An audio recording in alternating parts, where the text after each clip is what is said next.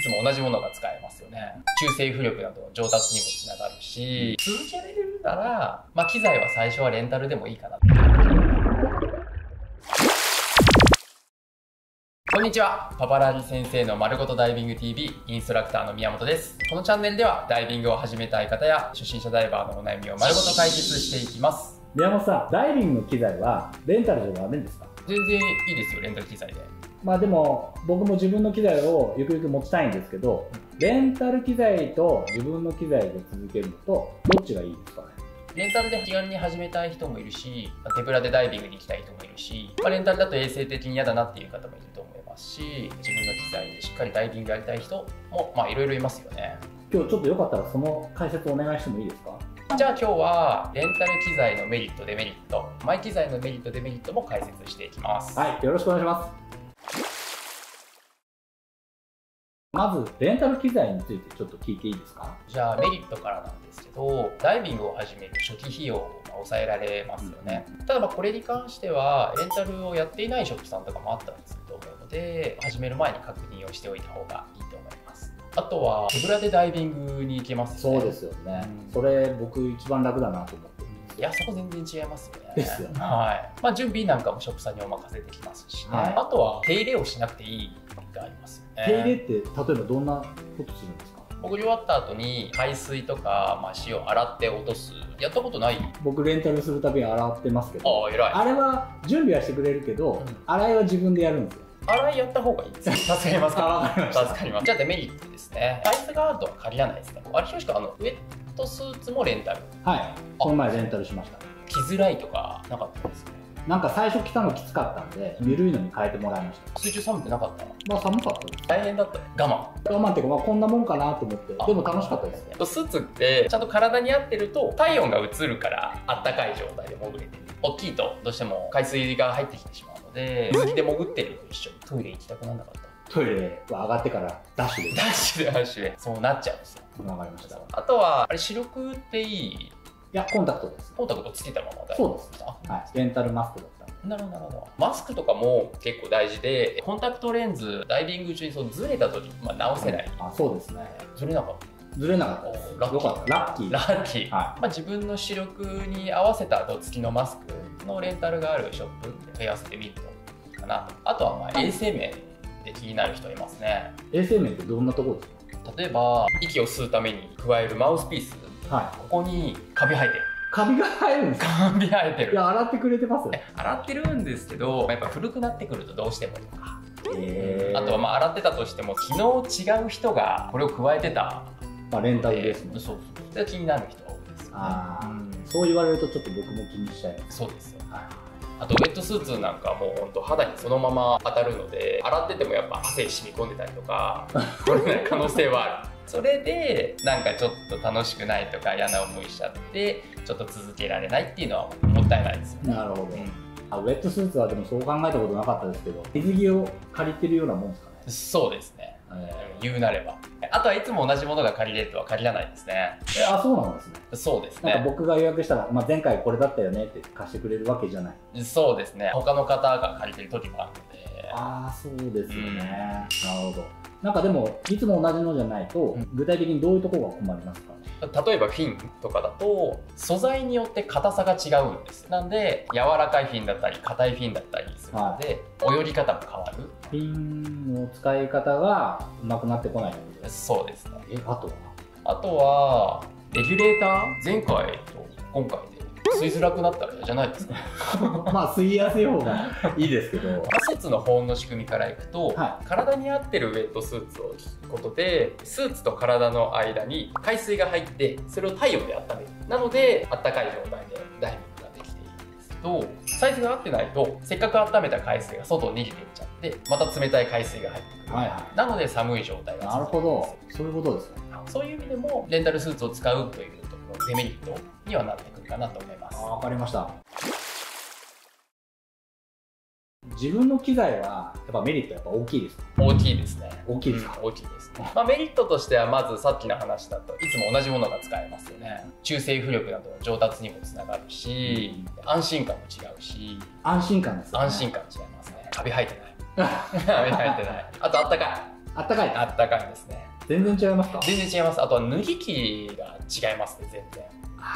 確かに僕着るとき大変ですいつも。そうですよね。足が合ってても腕が合うとは限らないですし、ね、はいはいウェットスーツはねあったかいところでダイビングすると時間かかると汗もかくのでスムーズに着れた方が多分楽しいと思いますね。あとはこの BCD 浮力調整をするときに BCD の中に空気を入れたり抜いたりするんですけどこのボタンの位置が機種によって違かったりホースの長さが違かったりするのでいつも同じものを使えるっていうのは安全にも直結しますよね、まあ、あとは自分の機材だと愛着がは湧きますよね。でひろし君自分の部屋にウェットスーツかかってたらいちょっとなんかやってる風になりますですよね。かっこいいですよね。かっこいいですかっこいいです、はい。はい。あとはウェットスーツとかマスクとかフィンとかは一つのメーカーでも同じ機種でも色がたくさん選べるので自分の好きな色でコーディネートをして揃えられるっていうのもまたダイビングが楽しくなるメリットの一つかなと思いますね。宮本さんの色は何色なんですか？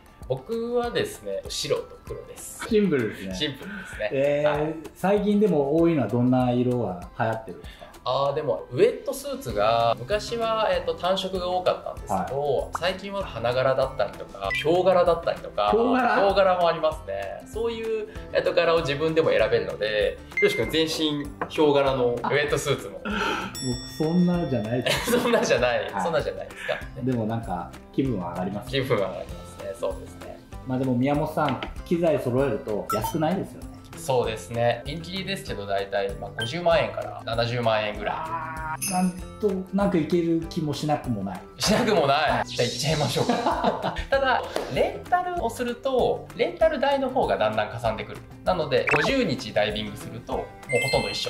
1日1万円ぐらいの計算ですか、うんそう大体そうですね。そういうショップさんが多いですかね。え50回ってでも結構じゃないですかでも1日だけダイビングするわけじゃない時もありますよね。あ土日で。土日でとかあとは沖縄行ったらもう何日もダイビングすることもあると思うので、はいはいだったら1回で何万円もレンタル代を払ってることになりますもんね。そうか。うん。わかりましたなるほど。あとはダイビング機材のメンテナンスが必要にはなりますね。あ自分で持ってると。そうですね。ただ大体ダイビング機材は潜った後にすぐ洗える場所があるのでそこで洗って持って帰って乾かすだけなのでそんなに難しくはないかなと思います。どうしても気になる人は家で洗っちゃえばいいんですけど。特別なお手入れはないってことないですね。だしあとはインストラクターに、えー、と洗い方は聞いた方が壊れない使いうん。方洗い方を教えてもらえると思いますねなるほど。ただレギュレーターだけは呼吸をする機材なので目安1年に1回ぐらいはメーカーの方に出してオーバーホールという、まあ、定期的な点検をしてもらった方がいいと思いますね、それは大体いくらぐらいかかる？とこれもまあ、えっと、機種にもよりますけど大体1万5000円から2万円ぐらいうんは見といた方がいいですね。なるほど。わかりました宮本さんさっきレンタル代が大体1日1万円ぐらいだなって言ってたじゃないですか、まあ、そんなもんですか？大体それぐらいだと思いますね。まあ無料って言ってるショップもあると思うんですけど。無料なんてあるんですか？無料もあ見たことはありますけど本当ですかね？まあ気になるのはやっぱちゃんとメンテナンスされてるかどうかですよね。レンタル代は大抵どのショップもレンタル機材の定期メンテナンス代に使ったり傷んだ機材のまあ買い替え費用になったりとかしてでまあそうですよね、うん。まあ無料って言っちゃうとちょっとどうやってんだろうなと思いますね。あとはサイズも豊富に揃えてるショップもあると思うのでそういう方がいろんな体験の方に対応もできますね。ただまあ揃ってないお店とかはちょうどいいサイズのレンタルすることは難しいので数が少ないともうひろしくみたいに違う人に借りられちゃってたりとか。なるほど、なので使いたい時に使えないっていうのはあるかもしれないですね。まあ、レンタル代はかかるべくしてかかってるそうですね、うん。うん、まあそうですよあとはじゃあひろしくん言っとくね。なんですか？ね新品は借りれないから。まあそうですよね。そうですね、まあ、レンタル機材はもう年季入ってるものが多いので新しいものを借りたいっていうのは難しいですね。なるほど。まあでもちょっとボロボロなの借りちゃうとちょっと不安になっちゃう。そうですよね、うん、自分の安全を確保するためのものでもあるので、うん。そこは気にする人は自分のものを持った方がいいかなとは思いますわかりねましたじゃあ宮本さん初心者の僕はどっちがいいですか？揃えられるなら揃えた方がいいと思います。早く揃えることで上達するし安全だしそれが楽しいし。早く上達できるとひろしくんが行きたかった海にも早く行けるようになる。なるほど、うん、なので続けやすくなりますね。ただ続けられるなら、まあ、機材は最初はレンタルでもいいかなと思います。ダイビングやってみたいなまあでも高いなで始められないだったらまず始めてみてからその後揃えるかなっていうのは考えてもいいかなと思いますねダイビングやってる人みんな言うんですけど大体みんなもっと早く始めればよかったって言あうんですよ。僕もそれは思いました。そうですよ。ね、なのでもう機材揃える揃えないは置いといてもう早く始めてほしいですね。あそうですよね。わかりましたはい、じゃあ今日のまとめです。レンタル機材のメリット、デメリット、前機材のメリット、デメリットを説明させていただきました。最終的には人によって違うんですけども、レンタル機材が向いてる人っていうのは初期費用を抑えたい、手ぶらでダイビングに行きたい、まあ、衛生的に気にならない、まあ、そんなにダイビングを続けるつもりがない人、あとお金は気にしない人。とかですかね。前機材が向いてる人は自分のサイズ感で潜りたい。安心したい。長くダイビングを続けるつもりだ。あとは分割で購入することに抵抗がない人になりますね。ダイビングを始めるときは最初のうちはレンタルでももちろんいいと思います。機材は安くないのでその人のタイミングで購入したりずっとレンタルでという方がいても誰でもダイビングが楽しめるようにどのダイビングショップにもレンタル機材の用意はあります。ぜひ自分に合ったスタイルでダイビングを楽しめるようになってください。ということで今日の動画が参考になった勉強になったという方はチャンネル登録と高評価そしてシェアをよろしくお願いします。あと YouTube で話せない内容も LINE で配信していますのでよかったら概要欄から LINE 登録もしておいてください。このチャンネルで取り上げてほしいテーマ質問などありましたらコメント欄に入れていただければ今後の動画の参考にさせていただきます。それではまた次回の動画でお会いしましょう。ありがとうございました。ありがとうございました。ありがとうございました。宮本さんは機材いつ揃えた僕はあのダイビングのライセンスを取り終わった後ですね。じゃあ講習中はレンタル機材レンタルでやりましたぶっちゃけ買っといた方が良かったですか？いや買わなくてよかったと思います僕は。やってみてからやってみてから思いましたね。それはなんでですか？買わない方が良かったというよりはあんまりそこを考えずにダイビングを始めて楽しかったので。なるほど。まずやってみようみたいな感じで。そうですね。楽しくてこれを趣味にしようって決めた感じでしたね。ぶっちゃけ聞けてるか ありがとうございます。これ以外にハマった趣味あるんですか？ないですないないです。はい。ないですね。全く？うんないですかね。習い事はまあありますけど。何や空手？知らなかったかあと習字とか 今ダイビングのマイブームなんですよダイビングのマイブーム？改めて中性浮力の取り方を模索する。えどういうこと自分の感覚を言葉にするじゃないですけど伝え方？なんか一言で。スキルの感覚をちゃんと言葉にうまく載せるじゃあちょっと今度中性浮力の動画もありがとうございましたありがとうございました